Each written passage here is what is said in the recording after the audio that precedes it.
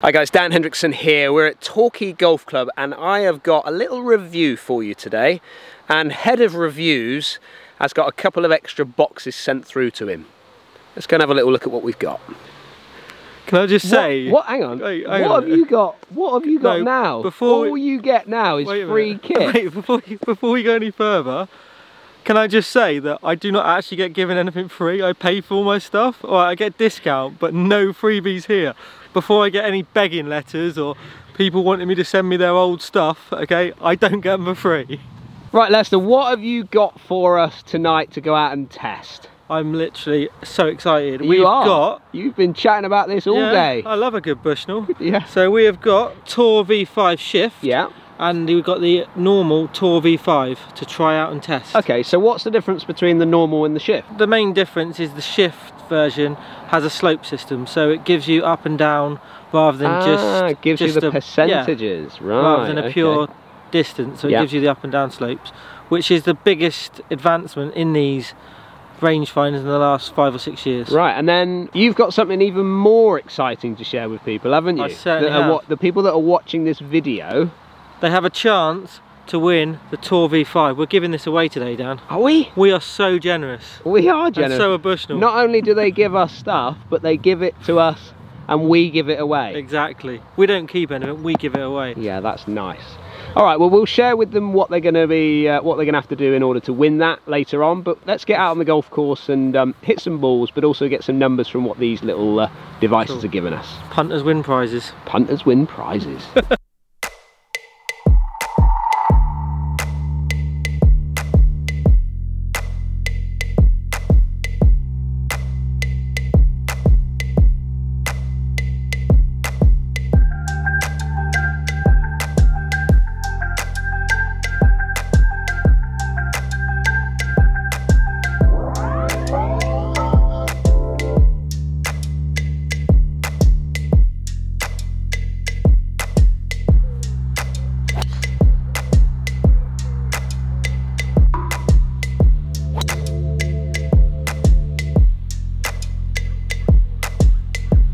So for this review today, I'm going to be using the shift version. Lester's going to be using the non-shift version because we don't want to keep wiping these down with our bacterial wipes.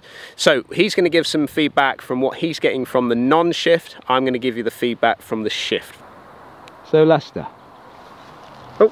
Oh, that was a bit close, wasn't it? Yeah. So you've been using the T, the Tour V4 now for some time, haven't you? Um, it's been in your bag for what, a couple of years you've had that Couple one? years, Yeah, and how have you got on with that one? Uh, it's brilliant. It's one of the um, it's the best Bushnell or the best laser rangefinder that I've actually had myself. Right, okay. But now that I've given you the the Tour V5 and you've had that now in your golf bag for what, two or three weeks or yeah. since since lockdown came back? And um, you've been testing it out on the golf course. What's been the sort of biggest noticeable change, I suppose, from coming from now D- T or the Tour V4 to now the Tour V5? Okay, well the main difference that I've noticed is we tend to be doing quite a lot of our filming in the evenings, Yeah. sort of when the when the light's fading, Yeah. when the sun's at an awkward height, Yeah. and it's so much clearer and easy to actually hit distances, hit hit objects, hit the flag Yeah. compared to the the V4, which is which is good. Don't get me wrong, but Yeah. it's a massive for me. It's a massive difference. So as the sun's sort of dropping and the hazy Yeah. conditions, you're still Yeah. being able to sort of pick up that flag yeah, just that little bit easier. yeah, definitely, hundred percent. So what Lester's noticed there is obviously a difference in the actual light side of things when he gets out onto the golf course later in the evenings. Now, for me, when I'm sort of filming using cameras like I'm using now, light is massively important for the lens and what Bushnell have said that they've done is that they've brought the light transparency up to 70%. Now to put that into perspective for you, the older ones and other models from other companies are using between 35 and 40%. So you're getting a much, much clearer vision from it when you're getting into those sort of darker and maybe foggier uh, conditions out on the golf course. So a massive, massive difference. When I'm using my cameras, sometimes it can go a little bit grainy if I don't get the right light. And that is a big difference between sort of giving you good production and not good production. And what Lester's seeing with his Bushnell is definitely a difference because obviously they're getting more light into those lenses. It's just making it a lot clearer when he's zapping into those flags. What's that Okay. Tour V5 telling you? I've got 177. What's the big noticeable difference again when you zap it compared to your older one? Yeah, I mean, what are you noticing inside the lens there? okay, so on the on the older version, the V4, Yeah, it just gives you the yardage, and you get you get a slight jolt, like a, a little shock, yeah, so uh, a vibration as such Yeah. to tell you when you hit the hit the actual target. yeah. With the the, the Tour V5, not only are you getting that, but you're getting an additional red light or circle that actually lights up to know you've actually hit your target. So they're saying it's an extra jolt, isn't it? Yeah, Is it, is it more? You can feel it more in your hand. Can yeah, you? you can. Yeah, you can definitely feel more vibrations. It's obviously the whole thing just lights up when you hit your hit your target, so you know you hit it. What club are you going to hit? Uh, it's uphill, so I'm going to hit and into the wind today, so I'm going to hit six iron. So what are you gauging? How much do you think it is gauged uphill, and what what yardage are you going to give it? It's going to be playing. I would have said it's guessing wise six, seven yards uphill. Six or seven yards Yeah. uphill. Right, a very good guess, Lester. Four percent. We've got a four percent slope here, and it's playing seven extra yards. So yours came out at one seven six. This one's coming out at one eight three. So you're going a club extra, yeah? Yeah.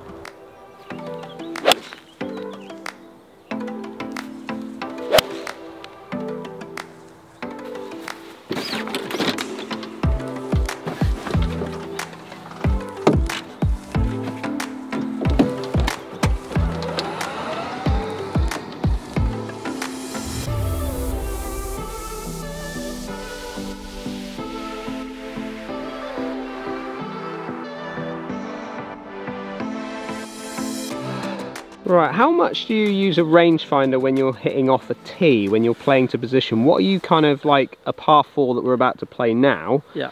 When you're on the tee box, um, what are you sort of zapping and what are you trying to hit? Or do you not use it off the tee? I do, yeah. M- more so when I'm playing a golf course which I'm unfamiliar with. Yeah.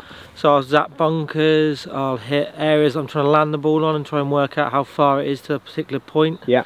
Um, yeah, so I will use it. I find it particularly useful now that we don't have course planners as such.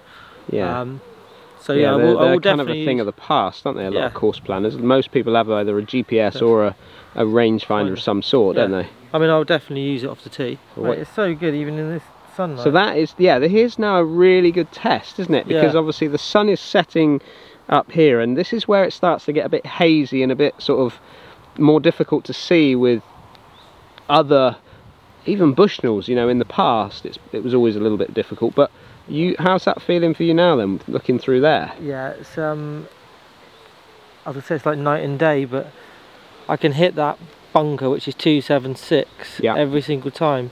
Um, which on other devices, I had the original Bushnell, and I Yeah, the old this old light ones, you would yeah. you wouldn't even you'd probably leave it yeah, in your bag. you wouldn't bother with it. Yeah. No, same with the mist or the fog.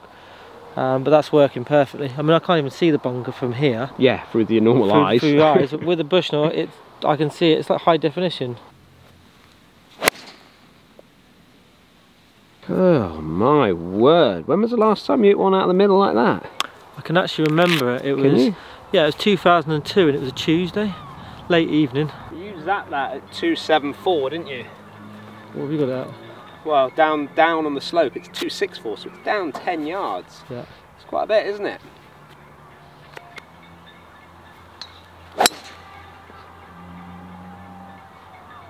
That's straight in that bunker. Oh, you do like that little bit of bite on there, don't you? Nice, isn't it? Hey? So that's a new feature, isn't it, into this year's model compared to the uh, Tour V4. Obviously that one doesn't stick to the buggy, does it, the other one? No. Which we've lost now. it's back over on the other fairway. Uh, I'll leave it. I think. Yeah. we got we got a new one now. You've got a new one now, haven't you? Don't need the old one. Much better design on that though, isn't it? I mean, got magnetic bit, uh, they're calling it a bite, Bite, that yeah. um, enables it to stick onto things like buggies. Less Um, less likely to lose it dropping out your bag or dropping off the buggy. I used to put mine inside the buggy, but occasionally I'd leave it there. But I don't think that's going to fall off. Oh, that's Ever. definitely not. That was solid. That is that there, is a isn't it? solid position there. And yeah, go on, pull it, it. pull it, pull it. Yes. but people can also um, probably attach it to things like trolleys I as well. You can probably attach it to you. Oh, it's on his belt. He's attached it to his belt. Can't have that 'cause it's Oh, that is. Is that? That's Oh, on no. solid, isn't it? You're stuck. Obviously, we've got the standard pouch as well, haven't we? Which comes with all Bushnells over the years. They've Yeah. they've always had that that sits on the side of your golf bag. A little bit of protection for it as you're carrying it around, save you popping it in your golf bag. And that's that's all right, isn't it? You like that one I, this I year? I quite like um, it's very, it's got that the orange around it, so it makes it easy to see, I guess, as well. Yeah, that's Some snazzy, of the, the one? I had before was completely black, which was not ideal. Hardest to to it. find in the dark. Yeah, not well. Or you drop it in the rough. I do spend a lot of time in the rough. 186. What's that? Another another five iron for you, isn't it? No, it's downhill. That was downhill this time, yeah. What did you guess on the slope? What I did you guess say? 180. You're bang on again. I'm not. You're not. You are. I've just just done it on the slope version, and you have got 186 playing six yards downhill at 180. I, Your eyes are pretty special. I don't need um. I don't need a Bushnell. You need a Barnsey.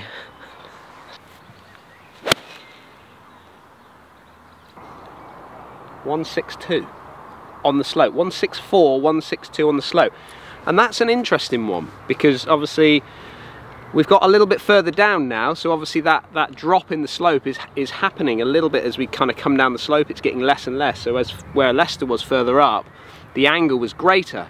And what Bushnell have done is they've created a new algorithm. So what they've done is they've taken into consideration, they've worked with golf companies and they've done some research with them that gives them the the descent angle of the golf ball. So over the years, the descent angle of the golf ball has changed um, from when they first brought out the sloping systems, and they've redone the, the algorithm.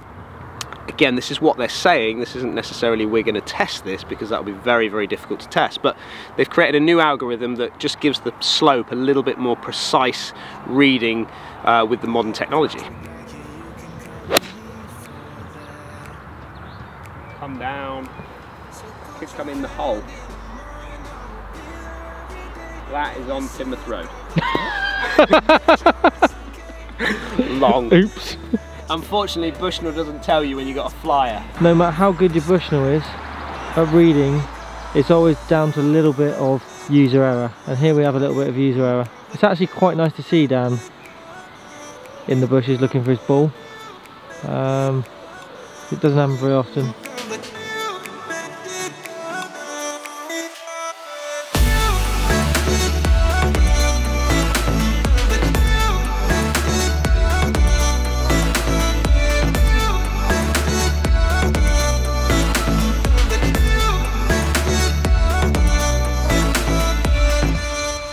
Another fairway hit. You are finding some fairways. Right, how far you got? Uh, 80 yards. Are you sure? It looks a lot further than 80 yards. Yeah, you definitely sure it's Oh, 80 got yards? it. It's 80 metres. You've got it on meters. Yeah. Right, just on the side of that device, just Yeah. hold that button down. Okay. Hold that button down on the side and now Yeah. press the top. What have you got Ah, now? 87 yards. 87 yards. So that's a new little thing that they've got on this model, isn't it, compared to the previous models? That is so much easier to change. Literally just hold the button down. I mean, it's not going to be for us because we always No. work in yards. But if you're travelling around, maybe around Europe and things like that, you might move on to golf courses that have got meters. So it's a good sort of gauge. You can, um, even though you're going to zap a yardage anyway, but you can sort of, you know, you can sort of have a little look and see what their meters are compared to what your yards are on it. So it's, it's a good little tool. It'll work quite well. It sort of travels quite nicely, doesn't it? yeah, definitely. Anyway, you've got 87 yards. Okay. Oh yeah, he's on it with his wedges. Get in That's there. awesome. Get in there. We might get a little bit of spin on that. I think it's only right to seal this video off with a cross-country Bushnell challenge. Okay. Okay, so I've brought you over to our 17th tee and we are going to play across to our 13th green. Look at that for a hole. Across two lakes. How far is it? Uh, 130 yards. 130 yards we have zapped. Yeah. It's not uphill or downhill, but we'll test that with my little laser in a moment. But uh, this is our little cross-country Country challenge. Right, what are you going to hit? So I'm going to hit wedge. Pitching wedge? I think wedge. pitching wedge is my number as well. Let's give it a go. Okay. Oh, a little clean, Bernie. Little clean. Oh, it's taken a hop up. You have hopped that on. That is good. You have hopped That's a that lovely on. shot. That's a lovely little Goodness shot. me, that was skipping across the water at one stage. It's a lovely shot. So you get inside that sunshine. He's under a little bit of pressure here because Three, yeah, 132. It's bang on, really. So if you want to go tournament mode with the slope version, okay, you can put it back. So obviously you can't use slope in tournaments, certainly in the UK you can't. So you can just push that button across and then the black sort of indicates that it's out of slope or out of that uh, measuring. And then red indicates that it's in the slope mode. right. So what we got? Wedge. I've got wedge as well, but I'm going to try and get it a little bit higher than yours. There's no pictures on the store scorecard. Definitely not. I mean, uh, that was impressive. No, that's that's missed the green. Oh, That's missed the green. oh my word. What a shocker. Oh, Should we go out and have a little look at them? yeah. Uh, Do I win a Bushnell? Do you win a Bushnell? No, because we've got to give it away. Oh yeah, remember we've got to give the Bushnell away. But what a shot you've hit there. An absolute little dreamer, isn't it? It's nearly Absolute little dreamer. about 10 foot away, 8 foot. Yeah, great shot of that. Uh, that was such a quality strike as well. They all count. And there's me over there, Miss Green. Miss Green. Green. So, give me a verdict on the review. Would you have one? I definitely would upgrade if if um, I had the funds and I was think or thinking about getting a new a new one. If my model was four or five years old, hundred percent. And even from last year's model, Yeah. um, or last year's version, there's a notable difference in my opinion. Yeah, there is from that, that visual point of view, isn't Yeah. there? Absolutely. Little things like the bite on the side, those added little touches, they make Yeah. all the difference, don't they? Yeah, hundred But percent. people don't change Bushnells massively, you know, they No. don't change Bushnells often, do they? It's not something that they change a lot. It's kind of something that they might change every three or four years, you know? Yeah, yeah, Um, but this is definitely a, a good upgrade Great. in the generations gone by, isn't it? definitely, yeah. I think it's time for a little giveaway. To actually win this Bushnell, the Tour V5, Yeah, then you have to like the video. So let's have a thumbs that up. That would be good, wouldn't it? Always Definitely. nice to get a like. thumbs up. Yeah. And you also have to subscribe to Dan Hendriksen Golf. Yeah, so they can subscribe and ring the bell as well, couldn't they? Ring the bell would be great. We appreciate any bell ringing. Um, but you have to be a subscriber and like the video to and we'll give this. it away. And we'll probably give it away on a Sunday show. On a Sun yeah, this will be given away on an upcoming Sunday show. So there you go, there's our review of the Bushnell Tour V5. Absolutely fantastic product. I've been using now the Shift version for probably about two years and I've got to say that it's made a massive difference to my game. Certainly, certainly understanding the sort of um, height differences when I'm playing out on different golf courses. But let me know, put your comments down below. Do you use a Bushnell? I'd like to hear whether you're using a Bushnell yourself or other any other GPS devices out there on the market. I'd like to hear what you have to say. If you're new to the channel, hit that subscribe button, give us a thumbs up if you like what you're seeing, and ring that bell as well for some more notifications of videos coming your way. As always, stay safe, and we look forward to catching up with you again soon.